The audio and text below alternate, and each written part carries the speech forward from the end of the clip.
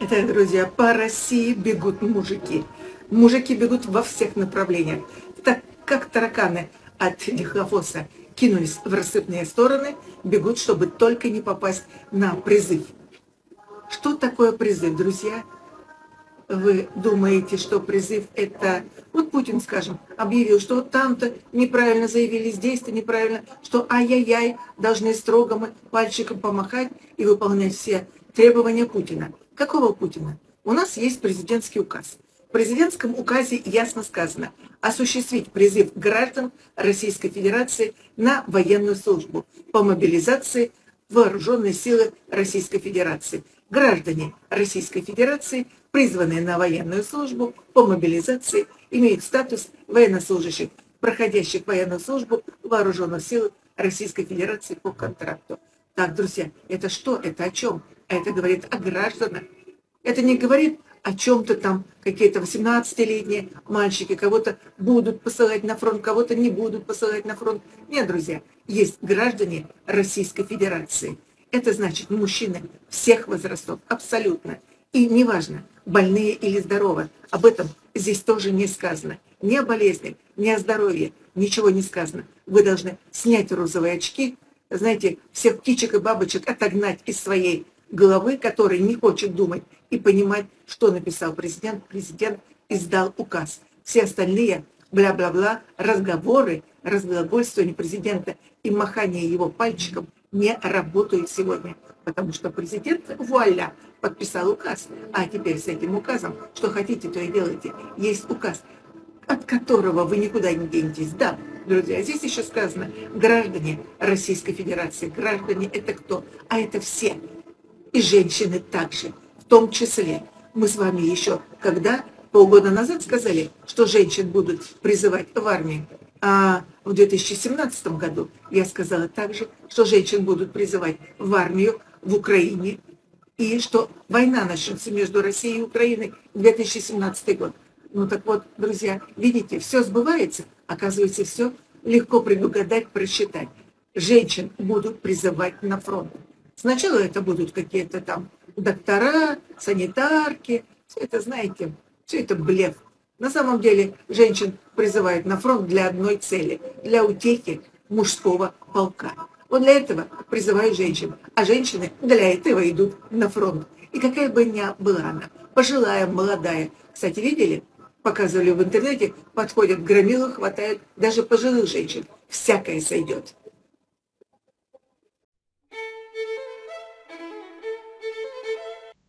Ну а теперь, друзья, давайте почитаем указ Путина об объявлении частичной мобилизации в Российской Федерации.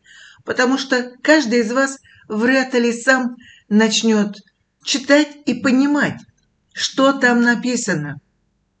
А там написано довольно-таки страшно для граждан вещи, на которые не обращают внимания. Объявили мобилизацию. Вот и это самая страшная вещь. Итак, в соответствии с федеральными законами 31 мая 1996 года номер 61 об обороне от 26 февраля 1997 года номер 31 о мобилизационной подготовке и мобилизации Российской Федерации и от 28 марта 1998 года номер 53 о воинской обязанности и военной службе постановляю. Первое. Объявить с 21 сентября 2022 года в Российской Федерации частичную мобилизацию. Второе. Осуществить призыв граждан Российской Федерации на военную службу по мобилизации в вооруженные силы Российской Федерации. Граждане Российской Федерации, призванные на военную службу по мобилизации, имеют статус военнослужащих, проходящих военную службу в вооруженных силах Российской Федерации по контракту. Третье. Установить что уровень денежного содержания граждан Российской Федерации, призванных на военную службу по мобилизации вооруженные силы Российской Федерации соответствуют уровню денежного содержания военнослужащих, проходящих военную службу в вооруженных силах Российской Федерации по контракту. Четвертое. Контракты о прохождении военной службы, заключенные военнослужащими, продолжают свои действия до окончания периода частичной мобилизации, за исключением случаев увольнения военнослужащих с военной службы по основаниям, установленным настоящим указом. Пятое. Установить в период частичной мобилизации следующие основания увольнения с военной службы военнослужащих, проходящих военную службу по контракту, а также граждан Российской Федерации, призванных на военную службу по мобилизации в вооруженные силы Российской Федерации. А. По возрасту, по достижении ими предельного возраста пребывания на военной службе. Не указано. Предельный возраст не указан. Б. По состоянию здоровья в связи с признанием их военно-врачебной комиссией негодными к военной службе, за исключением военнослужащих, изъявивших желание продолжить военную службу на воинских должностях, которые могут замещаться указанными военнослужащими. То есть, если вы изъявили желание и вам 90 лет, продолжайте служить. Или если вы больны, то также продолжайте служить, потому что вы сделали собственное волеизъявление. В. В связи с вступлением в законную силу приговора суда о назначении наказания в виде лишения свободы. Шестое. Правительству Российской Федерации. А. Осуществлять финансирование мероприятий по проведению частичной мобилизации. Б. Принять необходимые меры для удовлетворения потребностей вооруженных сил Российской Федерации, других войск, воинских формирований и органов в период частичной мобилизации. Седьмое. Для служебного пользования. Седьмой пункт закрыт. Здесь предполагают только, что указано количество граждан, которые должны быть призваны на военную службу. Восьмое. Высшим должностным лицам субъектов Российской Федерации обеспечить призыв граждан на военную службу по мобилизации вооруженные силы Российской Федерации в количестве и в сроки, которые определяются Министерством обороны Российской Федерации для каждого субъекта Российской Федерации. Девятое предоставить гражданам Российской Федерации, работающим в организациях оборонно-промышленного комплекса, право на отсрочку от призыва на военную службу по мобилизации на период работы в этих организациях. Категории граждан Российской Федерации, которым предоставляется право на отсрочку и порядок его предоставления – определяются правительством Российской Федерации. Десятое. Настоящий указ вступает в силу со дня его официального опубликования. Президент Российской Федерации Путин. Печать канцелярия президента Российской Федерации. 5. Москва, Кремль. 21 сентября 2022 года. Номер 647. Итак, друзья, что мы видим в данном указе? Мы видим самое страшное – это то, что здесь сказано «граждане». Здесь не указано мужчины или женщины. Здесь не указан возраст граждане. То есть все граждане любого возраста будут призываться.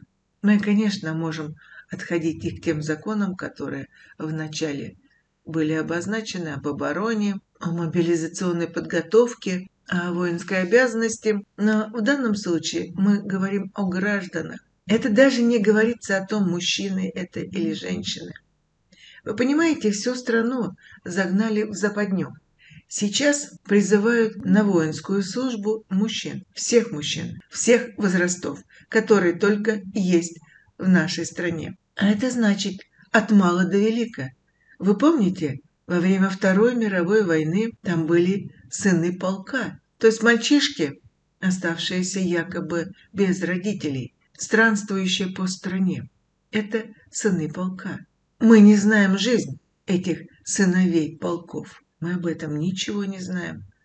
Но посмотрите на наше развращенное общество. И, может быть, тогда у вас ёкнет какая-то мыслишка, что это были за сыновья полка такие.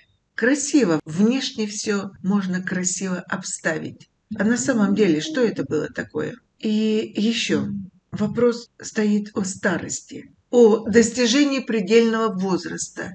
Достижение предельного возраста здесь президент официально не обозначил. Мы можем отсылаться к каким-то другим договорам, но в данном указе это не обозначено. Указано, допустим, смотрите, контракты о прохождении военной службы, заключенные военнослужащими, продолжают свое действие до окончания периода частичной мобилизации. Если наша война, которую начали в 2022 году, будет продолжаться 10 лет, то о каких увольнениях можете вы задуматься и говорить? Поэтому, естественно, офицеры, которые командуют сегодня вот этим сбродом, который к военным не имеет никакого отношения, но по принуждению забранных, и военные, они знают, что это все, это хана. Все, кто пришел, никогда уже не уйдет, потому что война будет продолжаться долго. И это только для ну, такого населения, которое хочет надеть на себя розовые очки и думать о хорошем ближайшем будущем. Ну, думайте о хорошем ближайшем будущем, о том, что это когда-то закончится, где-то у вас свет в конце туннеля. Туннель ли это?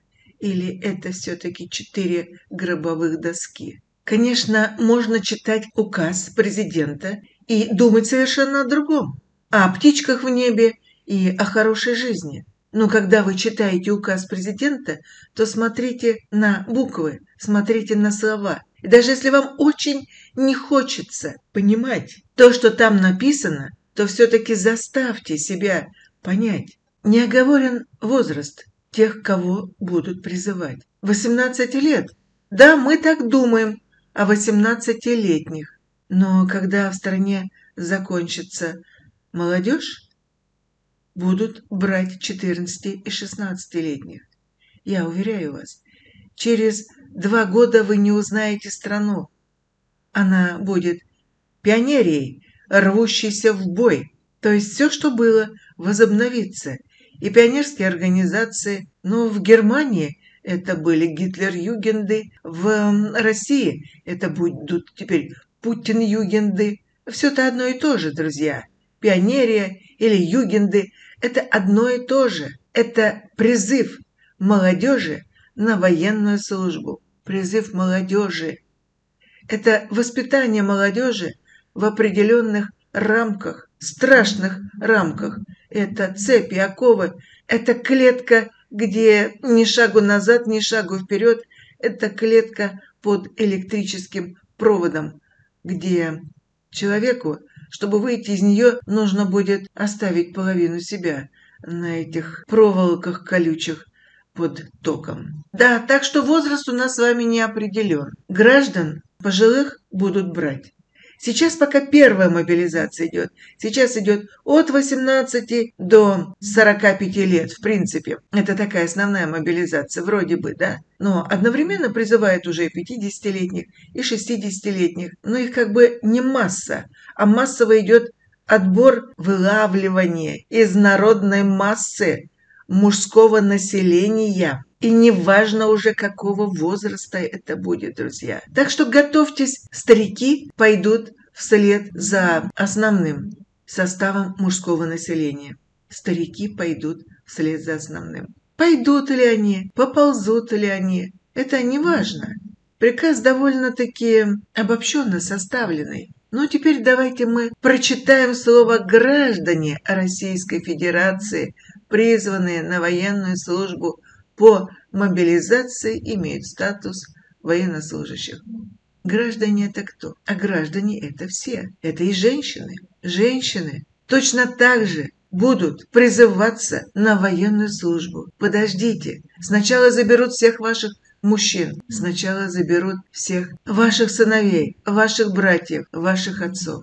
А потом в ход пойдет применение к слову «женщины», женские батальоны, женские полки. Женщин будут призывать. Все женщины такого же возраста, репродуктивного, также пойдут на войну. В стране не должно остаться, в принципе, никакого народа. 15 миллионов должно остаться, как нам говорят. Да нет, друзья, да нет. Речь не идет о том, чтобы оставить в стране 15 миллионов. Гораздо меньше должно остаться граждан в стране. Опять-таки, мы с вами говорим слово «граждан». Мы не говорим женщин, мужчин, стариков, детей. Мы говорим слово «граждан». Так что в конечном итоге в стране останутся дети. Действительно дети. Вы вспомните сказку про крысолова, про дудочника. Так вот здесь вы должны понимать, что вот эти дети ваши бесхозные будут потом также ходить под дудочку крысолова. Именно дети могут остаться одни дети в стране. Это будет похлеще, чем Вторая мировая война. Но это судя из указа, мы так смотрим на указы президента Российской Федерации. Вы можете посмотреть и рассмотреть по-другому, но к чему вы придете, когда вы упретесь слово «граждане Российской Федерации». Читайте указы внимательно и не стройте себе воздушные замки будущей жизни и свет в конце туннеля. Для вас этого не существует. Есть указ – президента Российской Федерации. И здесь, в своем указе, он все вам сказал.